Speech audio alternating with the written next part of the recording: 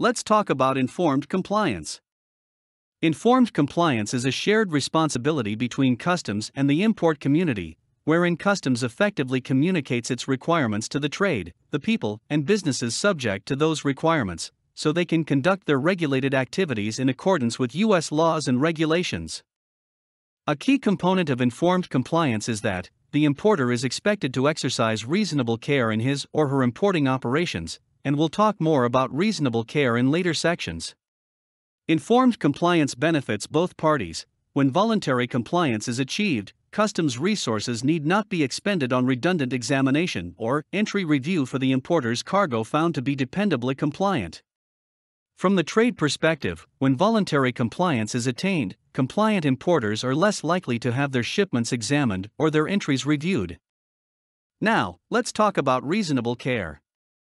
Reasonable care is an explicit responsibility on the part of the importer. Despite its seemingly simple connotation, the term reasonable care defies easy explanation because the facts and circumstances surrounding every import transaction differ, from the experience of the importer to the nature of the imported articles. Consequently, neither the Customs Service nor the importing community can develop a reasonable care checklist capable of covering every import transaction. Now, we are going to talk about questions that importers should ask themselves as these questions may be useful in avoiding compliance problems and in meeting the responsibilities of reasonable care. Let's talk about the general questions for all transactions first, then, we'll over questions for specific topics. 1. Has a responsible, knowledgeable individual within your organization reviewed your customs documentation to assure that it is full, complete, and accurate?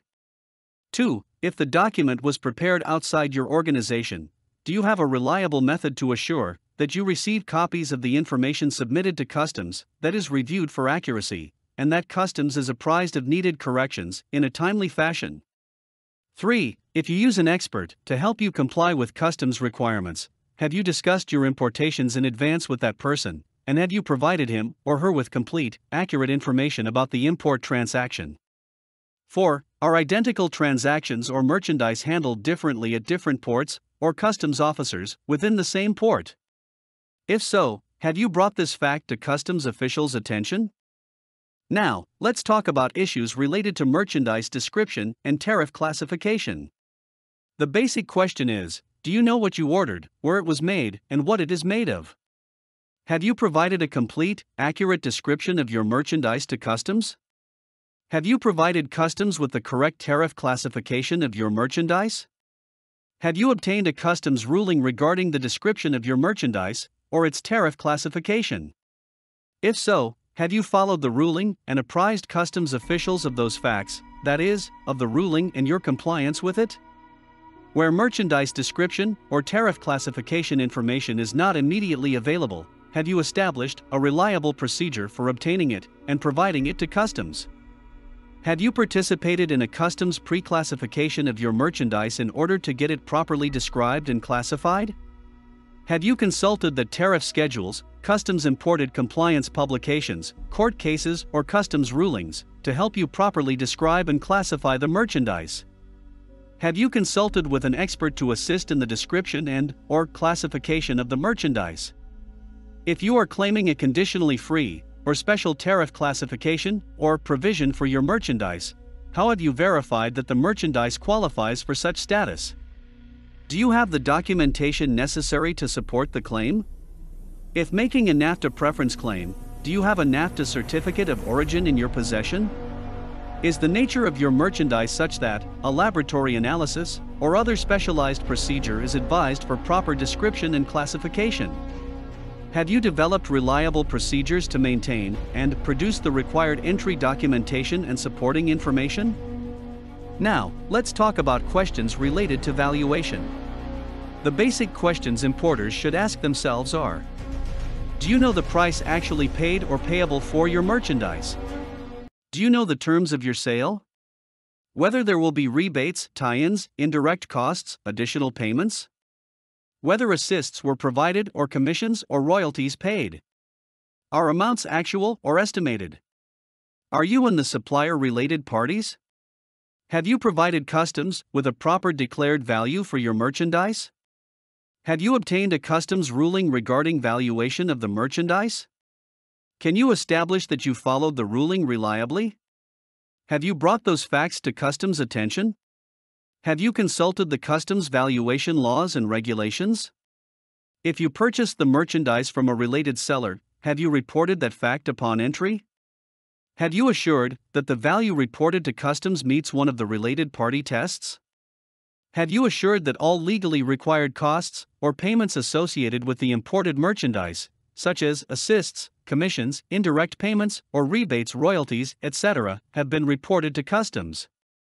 If you are declaring a value based upon a transaction in which you were or are not the buyer, have you substantiated that the transaction is a bona fide sale at arm's length and that the merchandise was clearly destined to the United States at the time of sale?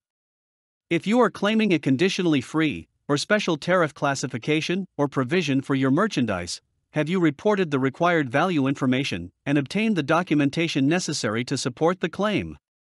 Have you produced the required entry documentation and supporting information? Let's talk about questions related to country of origin, marking, and quota. The basic questions importers should ask themselves are Have you ascertained the correct country of origin for the imported goods? Have you reported the correct country of origin on customs entry documents? Have you assured that the merchandise is properly marked upon entry, with the correct country of origin, if required, and any other applicable special marking requirements? Have you obtained a customs ruling regarding the proper marking and country of origin of the merchandise? If so, have you followed the ruling and brought that fact to customs attention? Have you consulted with a customs expert regarding the correct country of origin or proper marking of your merchandise? Have you apprised your foreign supplier of customs country of origin marking requirements prior to importation of your merchandise? If you are claiming a change in the origin of the merchandise, or claiming that the goods are of U.S. origin, have you taken required measures to substantiate your claim? Such as, do you have U.S. milling certificates or manufacturer's affidavits attesting to production in the United States. If importing textiles or apparel, have you ascertained the correct country of origin and assured yourself that no illegal transshipment or false or fraudulent practices were involved? Do you know how your goods are made, from raw materials to finished goods, by whom and where? Have you ensured that the quota category is correct? Have you checked to determine if your goods are subject to a quota category with part categories? Have you obtained correct visas for those goods subject to visa categories? For textile articles, have you prepared a proper country declaration for each entry, that is, a single country declaration, if wholly obtained or produced, or a multi country declaration, if raw materials from one country were transformed into goods in a second? Can you produce all entry documentation and supporting information, including certificates of origin, if customs requires you to do so? Now, let's talk about questions related intellectual property rights. The basic questions importers should ask themselves include Have you determined whether your merchandise or its packaging use any trademark or copyrighted material or are patented? If so, can you establish that you have a legal right to import those items into and or use them in the United States? If you are importing goods or packaging bearing a trademark registered in the United States, have you established that it is genuine and not restricted from importation under the gray market or parallel import requirements of United States law, or that you have permission from the trademark holder to import the merchandise? If you are importing goods or packaging that contain registered copyrighted material, have you established that this material is authorized and genuine? If you are importing sound recordings of live performances, were the recordings authorized? Is your merchandise subject to an international trade commission or court ordered exclusion order? Can you produce the required entry documentation and supporting information? Let's talk about the miscellaneous issues related to compliance. Importers should ask themselves Have you assured that your merchandise complies with other agencies' requirements and obtained licenses or permits, if required, from them? Are your goods subject to a Commerce Department dumping or countervailing duty investigation or determination? If so, have you complied with customs reporting requirements of this fact? Is your merchandise subject to quota or visa requirements? If so, have you provided a correct visa for the goods upon entry? Have you assured that you have the right to make entry under the customs regulations? Have you filed the correct type of customs entry? Now, let's talk about some of the compliance issues related to textile and apparel importers. Section 333 of the Uruguay Round Implementation Act authorizes the Secretary of Treasury to publish a list of foreign producers, manufacturers, suppliers, sellers, exporters, or other foreign persons found to have violated Title 19 U.S.C. Section 1592 by using false, fraudulent, or counterfeit documentation, labeling, or prohibited transshipment practices in connection with textiles and apparel products. Section 1952 also requires any importer of record who enters or otherwise attempts to introduce into the U.S. commerce textile or apparel products that were directly or indirectly produced, manufactured, supplied, sold, exported, or transported by such named persons to show, to the Secretary's satisfaction, that the importer has exercised reasonable care to ensure that the importations are accompanied by accurate documentation, packaging, and labeling regarding the product's origin. Under Section 1592A, reliance solely upon information from a person named on the list does not constitute the exercise of reasonable care. Textile and apparel importers who have a commercial relationship with any of the listed parties must exercise reasonable care in ensuring that the documentation covering the imported merchandise, its packaging, and its labeling accurately identify the importation's country of origin. This demonstration of reasonable care must rely upon more information than that supplied by the named party. In order to meet the reasonable care standard when importing textile and apparel products, and when dealing with a party named on this list, an importer should consider the following questions to ensure that the documentation, packaging, and labeling are accurate regarding country of origin considerations. Has the importer had a prior relationship with the named party? Has the importer had any seizure or detentions of textile or apparel products that were directly or indirectly produced, supplied, or transported by the named party. Has the importer visited the company's premises to ascertain that the company actually has the capacity to produce the merchandise? Where a claim of an origin conferring process is made, has the importer ascertained that the named party actually performed the process?